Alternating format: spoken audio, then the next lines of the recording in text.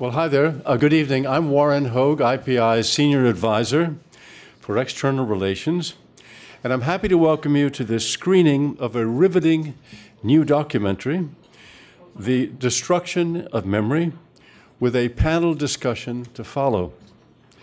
The half hour portion of the film that we'll be showing focuses on Syria and Iraq the so called cradle of civilization, and illustrates dramatically the shocking, willful acts of destruction and looting of symbols and objects and places of worship by Daesh or ISIS. In what amounts to an attempt to extinguish past cultures, erase past civilizations, and kill off individual identities. It then gives examples of the heroic attempts by people, sometimes at the cost of their lives, to protect, salvage, and rebuild these precious symbols of cultural heritage, in some cases using scanning techniques and 3D technologies that have only recently come into being. The question is posed is this not a war crime, a grave crime against humanity? A form of cultural genocide that should be addressed under international statutes. Co sponsoring this event with IPI are the permanent mission of the Netherlands and, and of Italy. So before we roll the film and then impanel our commentators for the panel afterwards, we will hear brief welcoming remarks, first from Lee Gregoire, the Deputy Permanent Representative of the Netherlands to the United Nations, and then from Inigo Lambertini, the Deputy Permanent Representative of Italy. So, Ambassador Gregoire, you come take my place here. Thank you very much. And, and thank you for having me at this uh, very important evening, ladies and, uh, and gentlemen. And thank you for all for participating tonight. I'm really happy to see such a full room here. Uh, and I want to thank the International Peace Institute for organizing, organizing this documentary screening um, and bringing to the attention, uh, bringing to the at attention to the destruction of cultural heritage. On, on, my way walking here, I had this song in my head. Uh, it was the Spice Girls, I think. It's, it's a, tell me what you want, what you really, really want. And it was like, if you want my future, forget my past. And I thought that is a really strange song actually. I was it came into my head when i was preparing this um, because uh, if you want my future you need your past. You're nowhere without your past. Um, and and destruction of cultural heritage affects the identity of groups. Um, culture defines our identity and our future. And the attempts to deliberately erase a culture such as happened in syria and mali are extremely worrisome and unfortunately taking a place a at a very long, uh, very large scale as we speak now. And it's, as, as you said, it's not collateral damage, it's actually a weapon of war. And Tim Slade's documentary, there you are, um, The destruction, destruction of Memory, underscores the link between conflict and culture. And he shows us in a very good way how destruction of cultural heri heritage strikes at the very foundations of a society, deliberately uh, erasing common roots and destroying the social fabric. But he also shows how reconstruction of that same heritage can be crucial, a crucial tool towards reconciliation in that conflict. I want to commend our friends and partners from Italy that you, you will be seeing us a lot together in the coming years. Um, and uh, Italy has actively pr promoted the protection of cultural heritage throughout their campaign for a seat in the Security Council. Um, they have set up, in collaboration with UNESCO, and I'm sorry, Inigo, if I'm taking your lines now, a task force for the protection of cultural heritage in crisis situations. And as a part of our split Security uh, Council term in 2017 and 2018, we will continue to work very closely together um, with our fr Italian friends in this particular area, and we will also do our share. To give you an example of what the Netherlands is doing, um, in Mali, for example, during the 2012 crisis, uh, the Netherlands has helped to save 95% of the 16th century Malinese manuscripts that form a wealth of knowledge of science, medicine, math, and culture. Another practical example is a, a four week training which the Netherlands organized in Amsterdam and in Washington, D.C., where practitioners from conflict areas received training how, on how to save cultural heritage and how to conduct a damage assessment and how to eva evacuate heritage. And such concrete forms of support can make a difference on, difference on the ground in conflict areas. IPI has brought together a panel of wonderful experts that you will see after the film uh, to guide us through tonight's screening and discussion, and I wish you all a very inspiring evening. Thank you very much.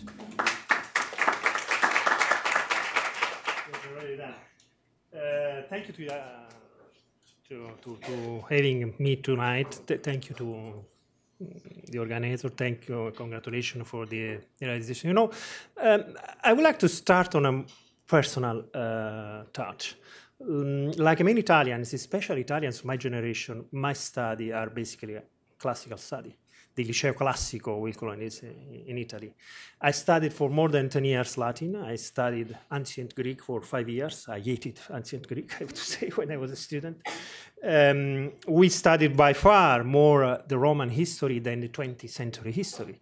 So we know by heart better uh, Caracalla, Julius Caesar than uh, Mussolini or Stalin. That's, that's typical of my generation.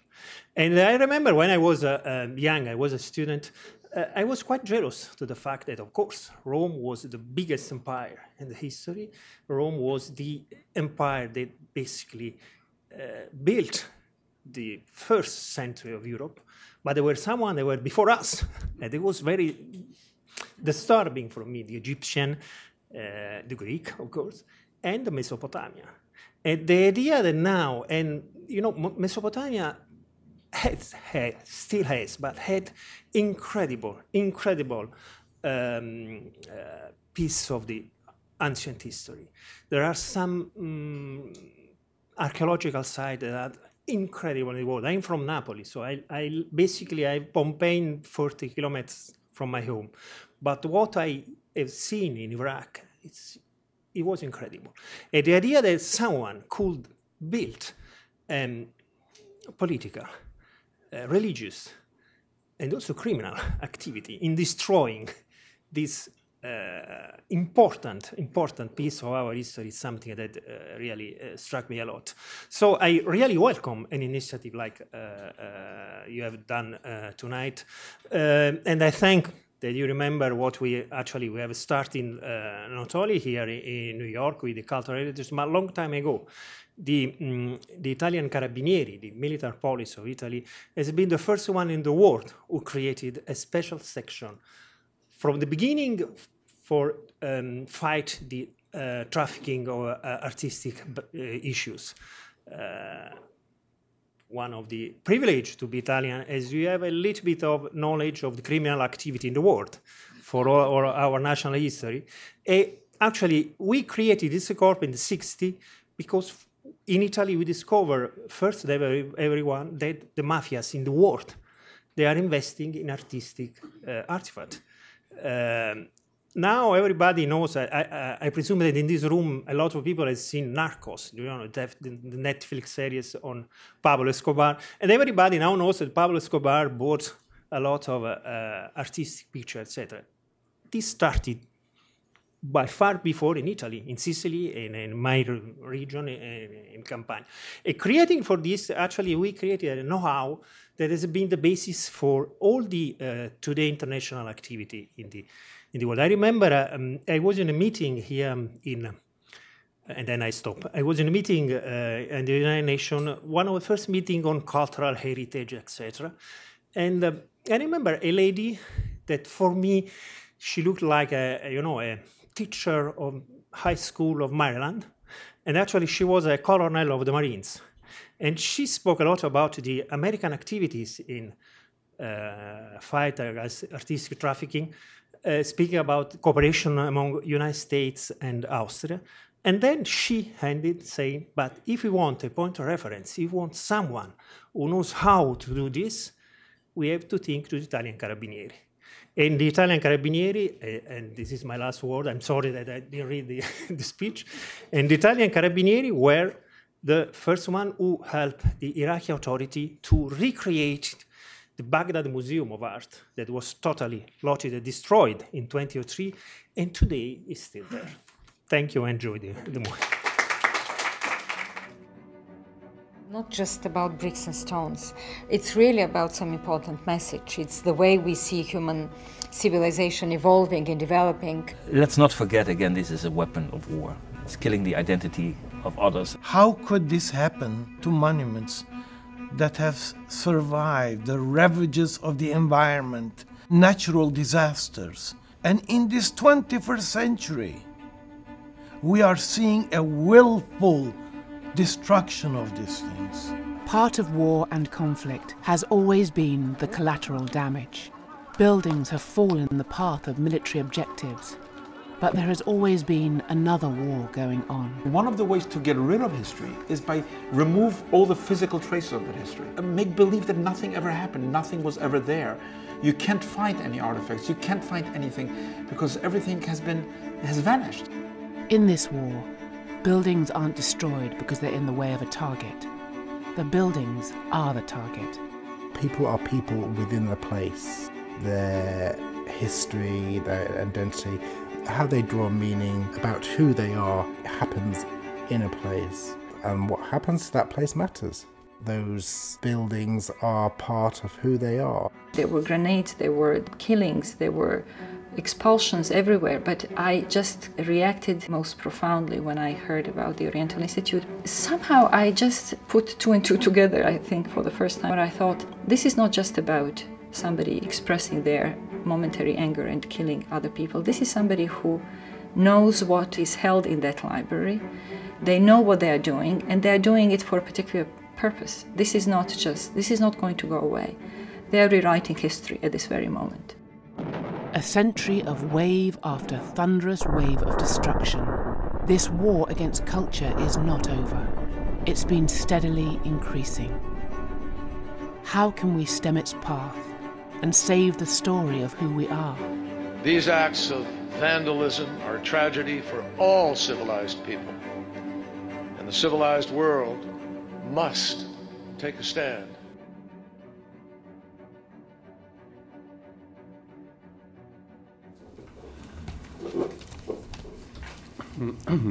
I've seen that film three times in the last two days, and you still just shudder when you see the destruction of those ancient monuments.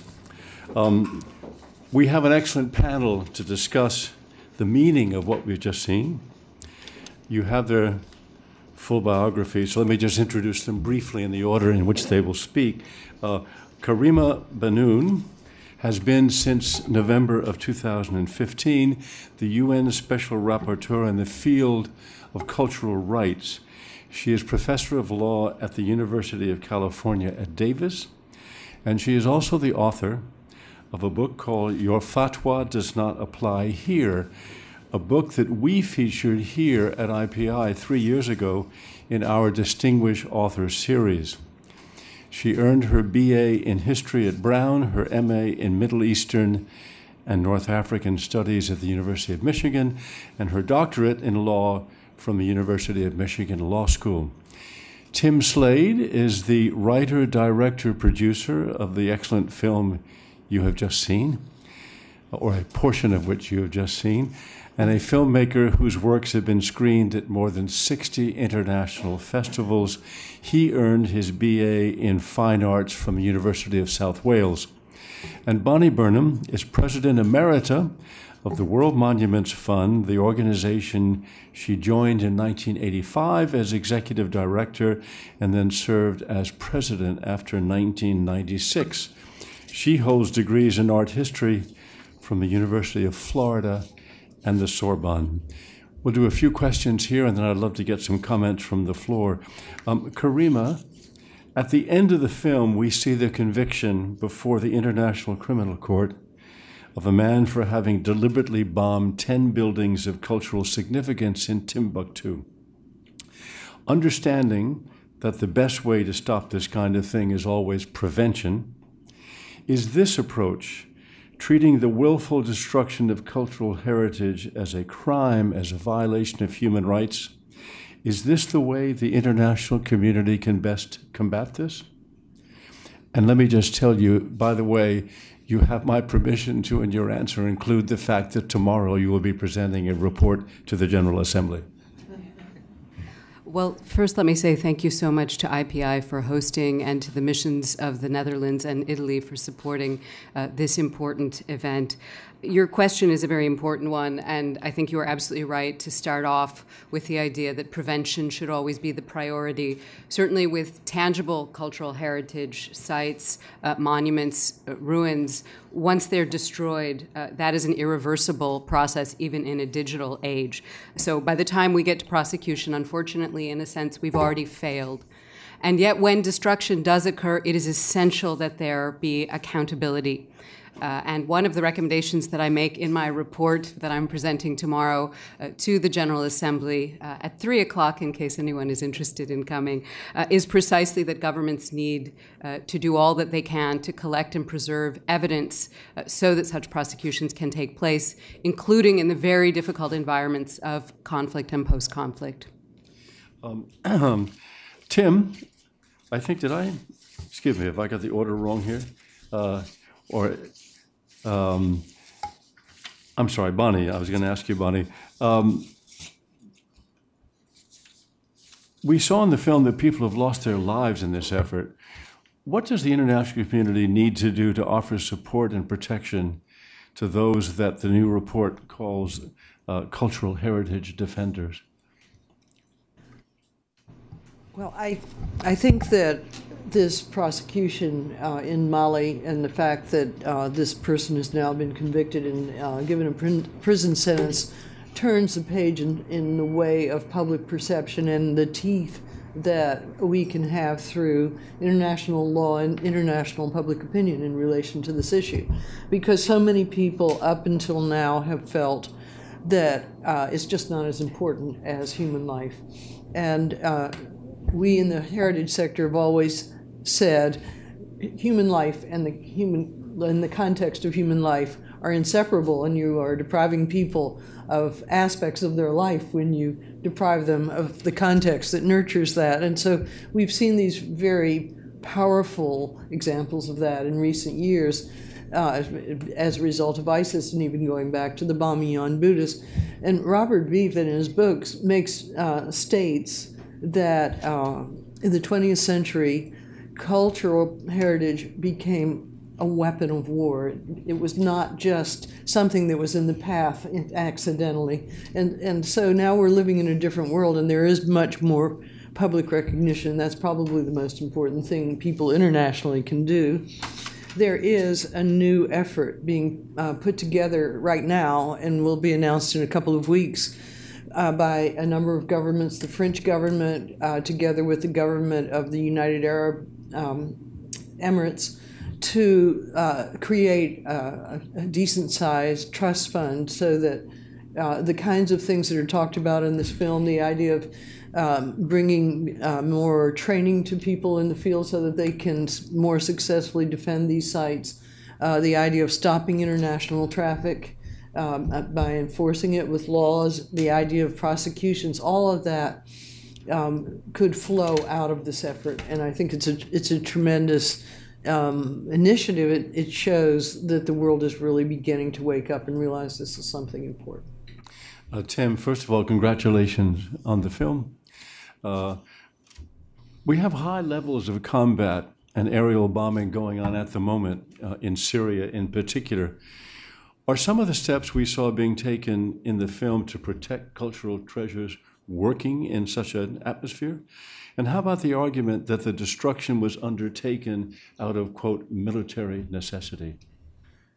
So I think, uh, firstly, that, you know, for example, the uh, the Ma'arra Mosaic Museum that we look at in the film, that was a, a, good news story on that level in the sense that, you know, the work that people were able to do with uh, custodians at that museum in, in Turkey um, was able to be transported back to Syria and to actually have an effect there when there was bombing of the museum. I think obviously in a city like Aleppo, you know, that sort of protection becomes very difficult because of the intensity, as you say. And at that point, I think, you know, it's important, as Karima touched on, that documentation is really done to as high a level and as complete a level as possible, um, both in terms of evidence, um, if there is a, a, an international court or a, a, tribunal, an ad hoc tribunal that's set up to assess um, the type of damage and that was that has been done, and in particular instances, specifically, I think to chat to try to close the loophole of arguing military necessity. Um, also, you know, as we as we see in the film, on the level of possible reconstruction, um, not necessarily physical reconstruction, because I think you know Bonnie and I have discussed this. You know, the level of documentation already of Aleppo is actually quite high, so you could you could technically rebuild every street if you really wanted to. But I think in other for other types of memorialization or other approaches to rebuilding that are taken later. Um, you know, obviously, in the case of Aleppo, it's as we all know, it's I mean, how to start to approach that is an incredibly complex issue because of the level of damage that the city has sustained. But but in any case, you know, technology, you know, that you're mentioning is is thankfully being used and I mean, the, and the 3D technology you mentioned, and we saw some of that there. Yes. Uh, they can actually recreate these things, yes? Yeah, I mean, uh, you know, the I think the thing with the 3D reconstructions is that you need a you need a lot of data to go in. So, for example, with Morehshin's work, she needed as many photographs of that statue as possible to be able to create the 3D um, structure. Obviously, you know, the sort of work that CyArk and others are doing with um, 3D scanning makes that a much more um, uh, accurate process, and that scanning can be done in a fairly contained period of time. So, mm-hmm. Karima, just one last point. Uh, you're a lawyer, uh, and you're delivering a report tomorrow, the General Assembly. Um, as a lawyer, do you see a real path towards creating a body of law which will bring all of this under the rubric of, of international humanitarian law? I think that both international humanitarian law and human rights law are important here, uh, and in fact, they're essential complements, uh, one to the other. I agree that this case, the Al Mahdi case, was a very important, uh, sort of a landmark uh, event, uh, and I was very pleased to see that in that uh, case, and there was, of course, as we know, a guilty verdict, a nine year sentence. I was very pleased to see that in that case, the court said that the crime was one of, quote, significant gravity. So, really recognizing uh, the seriousness of the harm, uh, and I think that that is essential. But I think also if we're going to really move forward to implement the law that we have, whether it's humanitarian law, uh, whether it's the cultural heritage specific uh, standards, whether it's the relevant uh, human rights law, we need to really understand the connection, uh, as Bonnie alluded to, between uh, the sites, between heritage and people. Uh, and that connection really I see through the prism of human rights. I understand cultural heritage uh, primarily, uh, from my view, as a human rights issue. Uh, because when those sites are destroyed, it is people's identity that's attacked, it's their ability to exercise their freedom of religion uh, and many other uh, human rights freedom of expression, the right to education, the right to learn history, and so on. and I do think that some of the criticism of the International Criminal Court over the case and of the prosecutor was unfair because it reduced these simply to, quote, property offenses without understanding the impact, in fact, on people. And if you talk to Malians, I was in Mali in 2012 before I became special rapporteur doing academic research. If you talk to Malians, they were as upset uh, about this as they were about the other atrocities uh, that were going on. And so I think understanding, you know, that connection between human rights, human beings, uh, and heritage, and indeed other atrocity crimes, is essential to going forward with the body of law uh, that we'd all like to see. The other word I always think about is identity. I mean, the, the theft of identity. Um, uh, Bonnie, do you have any more thoughts before I'm going to go to the audience and and uh, and ask for their reactions and questions. Uh, uh, I think you can go ahead. This has sort of been your life, I mean, in the World Monuments it, Fund. It, it, really has, and and Tim was referring to the complexity of the reconstruction process and the and there are references in the film to the idea that you can't you may be creating a memory of something that's been destroyed, a replica, uh, but you're it's not the same thing, and there's no way to really turn back the clock and repair the harm that's been done now, uh, and and it, there's going to be such a, an enormous gap between the way life was lived in this part of the world and the way it can be lived in the future, and the disruptions of the population as well will only further underscore that. So we're going to have a big challenge in front of us, and we need all the firepower you can get. Uh, Tim, on that same point, what kind of reaction have you had to the film? How widely have you shown it? Uh, can you measure yet any impact and any actions that are coming out of having shown the film? Yeah, look, I mean, it's interesting. It, it, you know, in an ironical, in an ironic way, you know, the film was sort of released at a good time in terms of the fact that this issue is um, getting attention. Um, obviously, it's you know not a good thing because it, the distraction's happening. But I think you know it's obviously, thankfully, a sort of timely message. Um, you know, the film's been shown quite a lot in the United States and in Canada and in Europe and elsewhere. And I think what's good that I've noticed is that it's being seen by different audiences and um, audiences, you know, such as the one here tonight, which includes representatives of governments, is really crucial because, you know, as Karima and Bonnie know, that's really the, probably the most important audience in a way because if there are to be developments in legal frameworks or policy, that has to start with the UN and, and member states. So um, yeah. In that connection, we're being webcast, so yes. that expands the audience. Um, any thoughts or comments or questions from the floor? Um, let me start with the ambassador in the front row, and I'll get back to you in a minute. Sorry, I don't want to, but I have to leave in really five minutes just to, to words. Uh, I fully understand what you say when you say that destruction is irreversible, even if don't underestimate the capacity of reconstruction. Uh, the Mostar Bridge is there. So, of course, it's by far more difficult to reconstruct than an ancient ark in Palmyra, but never, never says never. Now, what I, I, I, think it's important to say, especially in those days, this is also a, a film that calls for accountability. The preser preservation is important, but it also important. I think the last scene that we've seen in the International Criminal Court is one of the most powerful messages that the film could send. This is very important to stress this in the same days that for just internal political situation, important countries are leaving the International Criminal Court. This is something important to stress. Mm. The only way to uh, uh, overcome crises like this is the international cooperation, build on international law, and the accountability for the people who don't respect this. Mm. Thank you. Thank, Thank you, Inigo. And I'll understand if you have to leave. Uh, in the back, I think I saw. Uh, uh, well, I've, I've, got more than more than two. Let's do let's do about two or three ones. The gentleman there, and then the woman right in front of him. Remember these questions. We'll take them in order. Hi, I'm, uh, my name is Jose Vericat. I'm an advisor at, at IPI. Um, thanks so much for the for really stimulating movie. Um, part, I spent part of my time analyzing the discourse of um, Islamist organizations, uh, quite an unsavory task. And um, in, in terms of the way, I think it's interesting the way that ISIS frames such attacks. I think one of the, um, one of the people that you've interviewed mentioned how they're used to such a great effect. I mean, and, and this is so much part of everything that ISIS does, which is about attracting attention.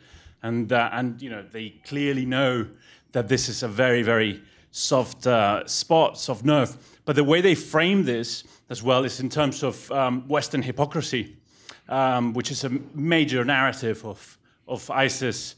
Um, and that is, among, in this particular case, um, the, the, the Western hypocrisies of the interest being taken in stones over human beings. Um, and that resonates enormously in the, in the Middle East region. Um, so I think it, which is, you know, it's a, it's a very valid um, uh, point and, and, and, and interesting to, to take account of. And I think perhaps in order to acknowledge this, um, I think it's also very important to put this in context and to say that the destruction of cultural heritage sites are not the monopoly by any means of, of ISIS, absolutely. Um, mm. In the pages of the New York Times, we've been reading about you know, Saudi Arabia specifically bombing cultural heritage sites in Yemen. Um, the, uh, the, you know, the, the, destruction of archaeological sites is a, has been a major subtext of uh, the Palestinian-Israeli conflict. And, uh, and of course, to go further back in history, we can talk about carpet bombing of Germany, etc. So putting that in context, I think it's, a, it's an important part of, uh, of, of, presenting this, uh, this sort of uh, argument. Thank you. Thank you. Jose, just pass that microphone to the woman right in front of you, in front. Excellent. And could I ask you to identify yourself? Yes, thank you.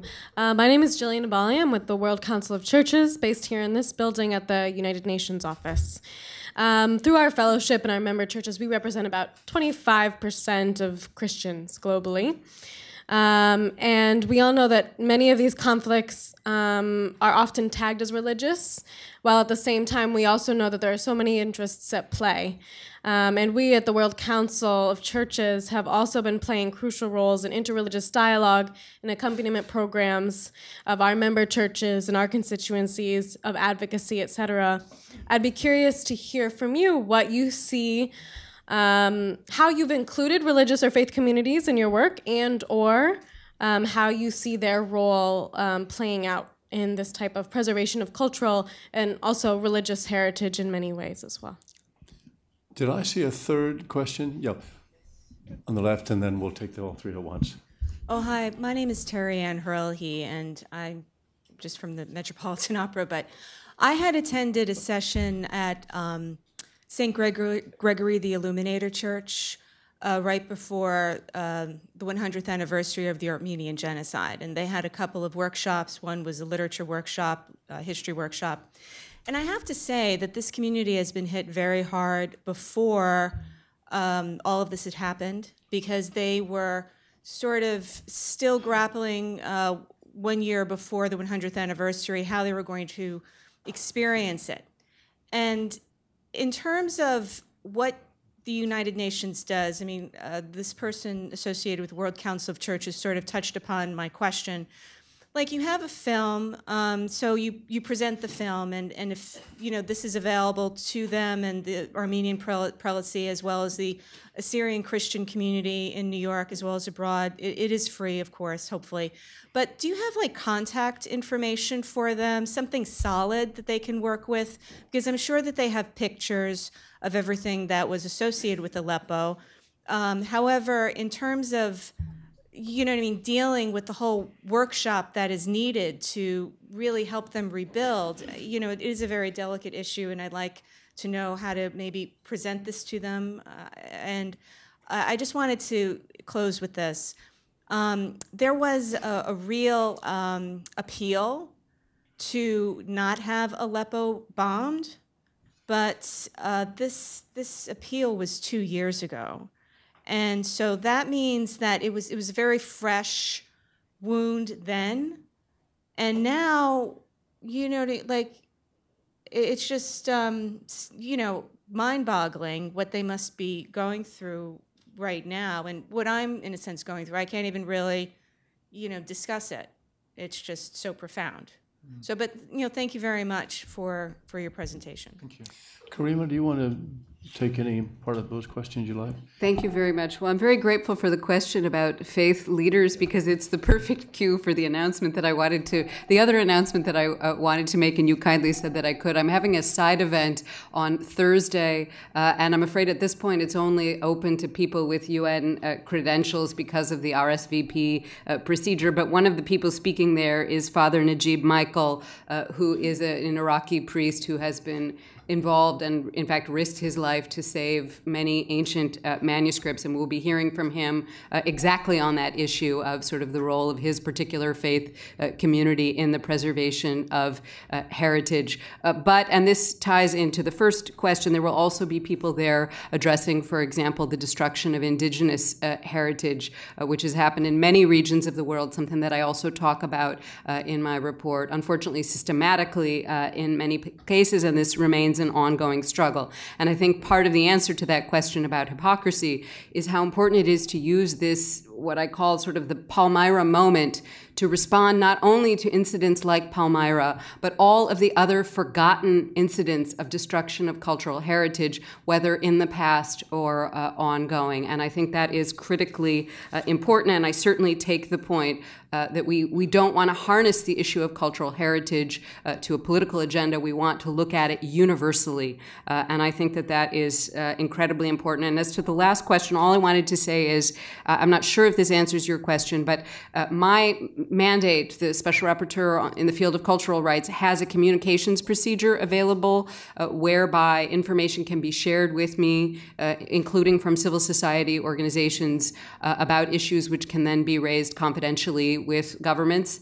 Uh, you know, it can sometimes have some uh, impact, and I can give you that information uh, and the information with regard to other mandates afterwards. Thank you. Bonnie, do you have any thoughts or comments? Yes. Um, I will say, first of all, that religious sites tend to be the uh, target of many of these uh, these attacks. Uh, it, it, extended with the ISIS to museums because they were there in Mosul, but they also bombed, they also destroyed a mosque in Mosul. And I think that it actually, in my mind, dates back to Kristallnacht and mm. that moment when um, the synagogues were, and that was just a kind of spontaneous uh, event where suddenly people all over the country, out of paranoia, rose up and they decided to to destroy these symbols because they were saying to the people, we can't tolerate your differences from us. And that's what's happening now in this part of the world. And it's why, um, and it's very intentional, and the, the Christian community so deeply embedded in, in the Middle East. But uh, there are virtually no Christians left, I think, in Syria any or Iraq anymore. So it's very hard to know who will be the defenders of this heritage. But it's tremendously important also as a rallying point it, at the moment that the conflict ends. And it's hard to imagine how the world will deal with punitive actions against uh, those who've been involved in this conflict in in Syria. The government's done so many things that have gone beyond what's considered to be humanitarian behavior, and this is all part of that construct. It's too bad the international community couldn't have come together two or three years ago and somehow found a way to evacuate Aleppo, but it it didn't happen, and so uh, we're we're stuck with the reality of what did happen.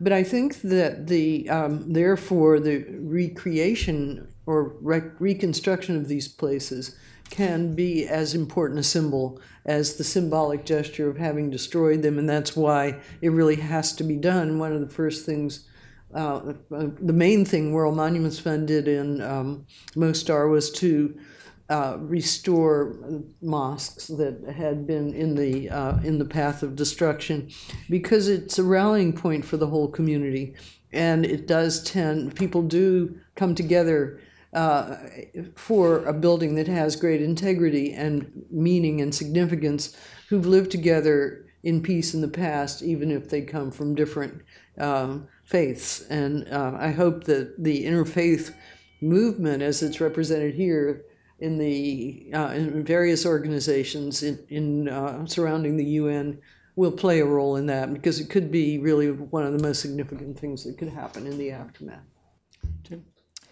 Uh, yeah, so I'll just sort of bouncing off something Bonnie touched on. I think in terms of the interfaith aspect that you know, a, a, lot of the sites we look at in the film, in the earlier sections than the one you've just seen, are religious sites, and um, you know, I think that it's you know, unfortunately, what happened in Bosnia, which we look at in the film, and which Bonnie's touched on, is you know the the sort of the artificial um, separation that happened between Muslims and Catholics and Orthodox um, was obviously, you know, um, fatal in, in, in in what happened in Bosnia. And I, you know, talking to Bosnians about how they lived together, um, like literally together before this these artificial splits happened was, you know, just completely tragic. So hopefully there can be a, an avoidance of that in, in other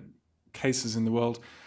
Um, in terms of the first question, I agree with. Um, I think Karima mentioned it. This this sort of the hierarchy of sites is really problematic, and I think that's you know some a site like Palmyra, which obviously is is absolutely awful what happened to Palmyra, but you know there are there are many other sites as well where things have happened, and I think they all have to be taken together. Um, earlier in earlier parts of the film too, we do look at things like the, the bombing of Germany and, and other cases as well. So we tried to take a very holistic approach and and one you know which is constantly trying to reiterate the position of that people and culture must be taken together, even though people like Daesh try and separate that and try and play off you know Western perceptions of weighing up one against the other. Um, and just finally, I just wanted to to mention that you know in terms of what Bonnie's talking about the international res- response that um, I believe the UNHRC is, is looking into potential um, uh, war crimes and other uh, things that have happened in Syria, and, and hopefully, as part of that exploration of human rights abuses, that what's happened to the cultural fabric there and that link between human and cultural rights can be looked at as part of that process as well. Um, yeah. Okay, yep. Um, I forgot another question, but go ahead. Sorry, I just wanted to add something about Reconstruction because I certainly didn't want anything that I said about how irreplaceable tangible heritage is to be construed as sort of not recognizing uh, the importance of Reconstruction. I do think it's incredibly important. I would just say a couple of things about Reconstruction. One is that in a lot of my travel uh, as Special Rapporteur and in my missions, uh, talking to people, while they greatly value Reconstruction, they're often very upset when Reconstruction of sites that are very important to them or the groups to which they belong uh, is carried out without having consulted uh, them. And so, one of the things I stress really in the report is the significance of the, the necessity for the widest possible con- uh, consultation of stakeholders uh, in the process of reconstruction. Uh, and I think another thing that I've seen that is really important about reconstruction is picking up on what Tim said when it can be used itself uh, to sort of mirror the process of reconstruction through reconciliation. So I visited a site, a monastery in. Um, in Cyprus, uh, and the reconstruction project that is happening uh, there, the restoration, is actually bringing together Turkish Cypriot and Greek Cypriot experts working together on the site. And it seemed to me to be such a great model uh, for not only the end of the reconstruction being important, but the process being about reconstruction and social reconstruction as well. Excellent. Um, well, I have uh, one back there, and then Susan Gittleson in the front row, and then the gentleman in the last row, and then this woman here. If we could take four questions all at once, and then we'll answer them together. Thank you. My name is Sophie Ravier. I work for the UN Department of Field Support, but until last August, I was uh, have been for three years uh, the head of the Environmental and Culture Unit in Mali, in MINUSMA, the peacekeeping operation, and as was said by Mr. Koenders, who was my boss, uh, that's the first peacekeeping uh, operation who got a mandate on cultural protection. Um, few points, uh, if I may. Uh, the language, the mandate was to, call, to protect the sites, but the sites were already destroyed when we arrived. So that's uh, maybe a comment I will, I will ask from, uh, from the panel. Uh, what about the role of peacekeeping uh, in cultural protection? And the way we interpret it was, of course, we try, as Mr. Koenders says, to find a way to work with the military and police, but we also uh, worked with UNESCO uh, to support them in the rehabilitation and the reconstruction of the mausoleums, but also the intangible heritage. Uh, like you know, in Mali, the music, uh, the, all the instruments were destroyed, uh, dance and music were forbidden. So actually, MINUSMA supported. Uh, they bought again instruments, etc., so that they could start again traditional events, etc. So um, and I, I, just wanted to um, add on what Karima has just said. Uh, the mausoleums in Timbuktu were rebuilt uh, by the local uh, communities using traditional methods, and that gives ownership. And they are even, I think now the mausoleums, I think even the, the local population will even more protect, they will try to protect them more because there is uh, really a sense of, uh, you know, uh, participation in all that. So uh, role of peacekeeping. Thank you. Thank you. And then uh, Susan in the front row. Susan Gittleson. Uh, you were showing us so well uh, destruction mainly by ISIS. And I can't help wondering what are other Middle Eastern actors doing to counter ISIS? Uh, Saudi Arabia as the protector, various countries, the, uh, um, Lebanese, uh, the Moroccan, you know, where there is a tradition and, uh, and a, a desire to defend the faith. And what are they doing to counter ISIS? The gentleman in the back, I think. Uh, my name is Ding Feng, and I work for IOM. Uh, my question actually, uh, the video reflected me of certain questions that I had uh, back in academia. And uh, one of them is like, suppose if um, terrorists are using these cultural heritage as shelters, should, uh, if our um, you know, drones or fighter jets fly over them and bomb them, is, it, is that like legal or is that ethical? And secondly, um, if uh, you bomb them, you take them out anyways, should they be facing charges from the in, uh, International Criminal Court as well? All right. And then finally, here in the third row. Uh, hello, and thank you for this great uh, opportunity from the film. Uh, my name is Cheryl Kazan. I'm the president of uh, World Council of Peoples for the UN and the Mexican Academy of International Law. And it's very interesting. I'm very grateful. Looking at the film, I had the privilege of uh, seeing those sites as a child. And also, last time was 2007.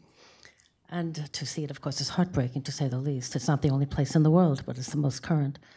Um, my curiosity is in the trade of the incredible artifacts, whether it be underground or otherwise.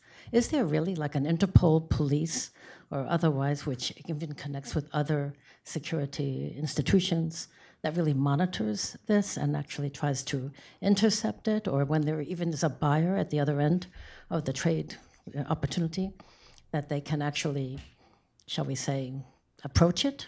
Are there penalties, or is it done secretly? It's very interesting. I come from a family where my father was in medical school in Germany before the war, and he was a, from Turkey and a passionate collector of everything and risked his life to save art and books and everything else. Went to Geneva, then back to Turkey, into Mexico over time. And all I remember all my life is that we were hiding everything and waiting for someone to claim it or approach it. And we were offered all kinds of funds to sell them. Mm. That's nothing that we ever did, but it was always a tempting story in the world of trade. So I give that to you. Thank you very much. I think what we'll do is go in the same order as before. Karima, start with you also. A couple of those questions require an answer from a lawyer, so, uh, and then we'll just go in order and finish off. Thank you. In the interest of time, I'll just address questions one and three and leave the others for my colleagues. I, am very grateful for the question about peacekeeping. In fact, this is a recommendation which is very close to my heart uh, in the report that I'm presenting to the General Assembly tomorrow, which is specifically to incorporate cultural awareness as well as the safeguarding, restoration, and memorialization of cultural heritage uh, and respect for cultural rights in the mandate of peacekeeping missions. I, I think this is absolutely essential. Some missions uh, have indeed undertaken this. Others have been somewhat unclear as to what they were able to do uh, in this regard. And so I think it needs to be in there from the beginning uh, in the mandates. Now, I was thrilled that recently the UN Human Rights Council passed a very important resolution on uh, cultural rights and cultural heritage. Uh, unfortunately, one of the things that did not get included was the language about peacekeeping. So we have to keep that on uh, the table with experts like you who've had the field experience uh, in there. I think it's so important. Uh, the other point you made, which is critical, is about the link between tangible heritage sites, monuments, ruins, structures, and in intangible heritage of folklore, uh, practices, uh, traditions, uh, music, languages, um, and so on.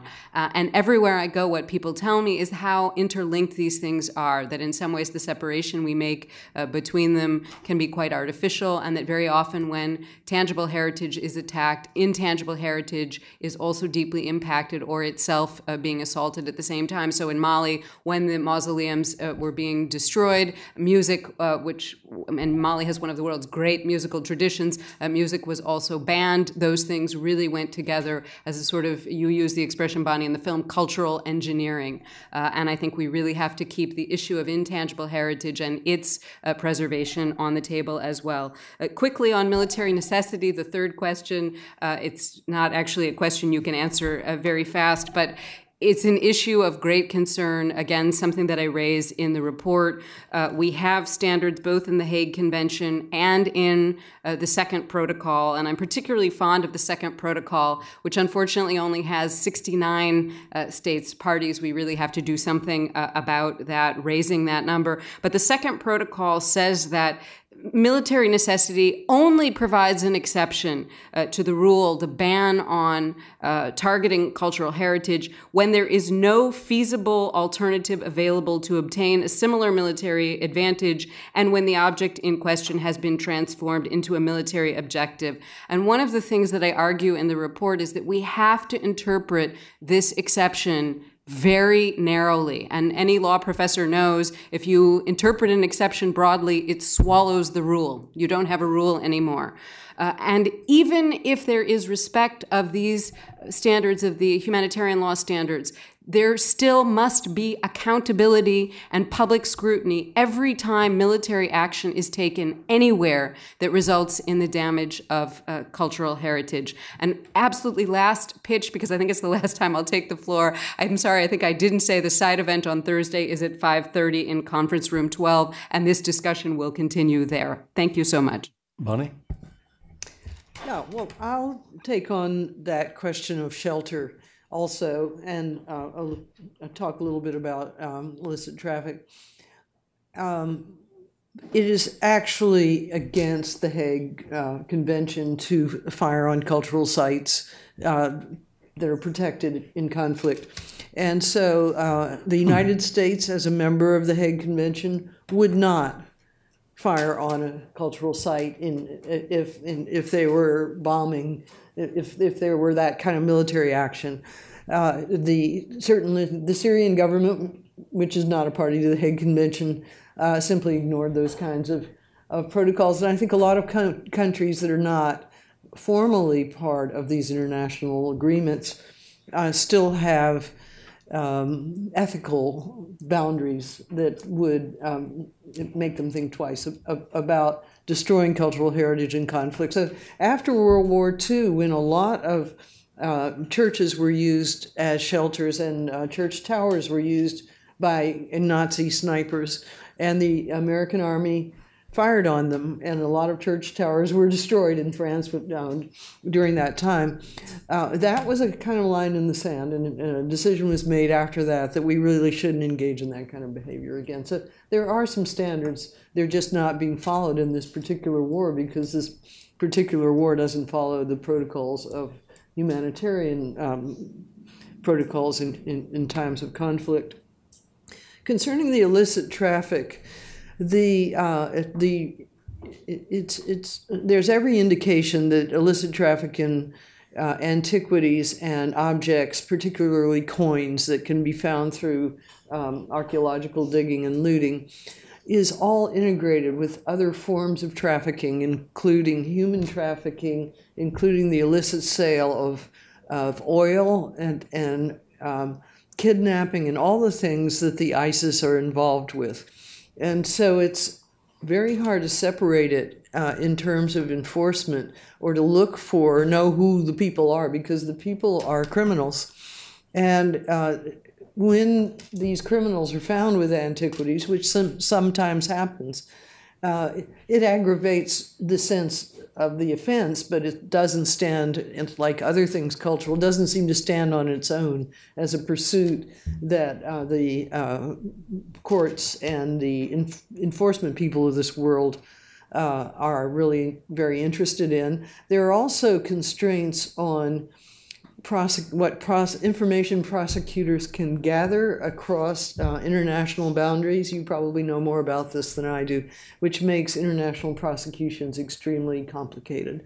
And so uh, there isn't uh, a big safety net to uh, track this material as, as it's traveling around the world, nor have we got very specific documentation about which objects have disappeared and therefore why, uh, what are we looking for? And so the information that's circulated through an agency like Interpol, which has no enforcement capabilities, just a communications channel, tends to be um, more about types of things than it is about individual objects. The United States has passed a law uh, prohibiting the importation of antiquities from Syria if they are um, can be shown to have been exported after 2011. That was a, a over strenuous um, opposition from the antiquities trade, which uh, takes the point that there is a lot of legal and licit uh, material from this part of the world, and it's very hard to differentiate. So that too is a really pre- pretty complicated issue. And then finally, on the peacekeeping, going back to the Bosnia conflict and even Cambodia, there have been efforts to get peacekeepers involved in this, and it, it's always been turned turned down and not really taken very seriously. So it would really be a great step forward. Uh, more damage always occurs after the fact than actually occurs in, in, in a moment of catastrophe. So there's so much more that could be done to prevent. Uh, worse things from happening on the ground in the aftermath of it when, when it's time uh, for people to come in and start the reconstruction process. So I hope you're successful with your recommendation. Mm-hmm. Thank you, Bonnie. Tim, you have the final word. Uh, yeah, look, there's not a, there's not a lot to add really, but um, yes, uh, my understanding to to your point about penalties, as, as Bonnie's just been discussing, I think the UN Resolution 2199, which we look at in the film, again, as with say the Hague Convention, the onus then is on implementing national laws, right? So I mean, it's it was sort of it, it, all of the state parties agreed to it, but it's a matter of implementing national laws to actually make that a reality. And just, just from perhaps going to some events talking about this issue, I, what I feel is that sort of sharing of knowledge is important between, say, Interpol and, and national um, agencies. Um, you know, I think that's sort of a key thing is sharing of data and information about how to integrate um, different points in the the sort of trafficking pathway. Um, the yeah, look, the question about Middle East actors, I I'm not an expert in that, so I can't answer that very well. I know that certainly some states have, and that some Muslim religious leaders have sort of taken up positions against Daesh and I, I just don't well, know. Certainly, the Iraqi army is trying to take back yes. a lot of territory, and yeah. they're, they're leading that. Yes. Uh, we've actually got about five or ten more minutes, and the bartender in the back knows to save me a glass of red wine, which I'm only able to drink after this is over. So this is the end of the formal thing. Please feel free to stick around. I'm sure all three of you are available to chat and talk about this subject. Uh, please join me in thanking this excellent panel and Tim for your wonderful film.